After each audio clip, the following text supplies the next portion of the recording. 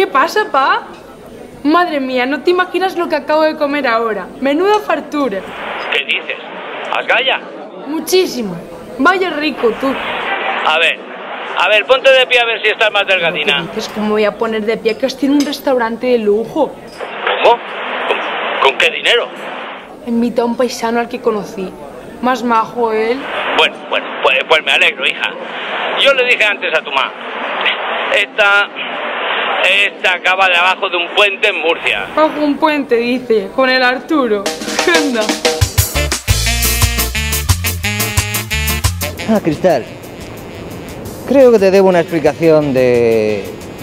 de esto que tengo aquí montado. Cambio mi horario de nuevo. Si es que a mí siempre en verdad me ha gustado el flamenquillo, ¿eh? ¡Vale, vale! Salto de golpe el peldaño en medio. Señora, padezco de asma y tengo permiso para prohibir que se fume dentro de la casa del señor. ¿Eres Teo? Creo que vi tu programa la semana pasada en las 6. Los bares y en las grúas. Los caras inundan todo. Y en las grúas. Me veo en la obligación de restregarle la cara a ese hijo puta. Aún tenemos su maletín.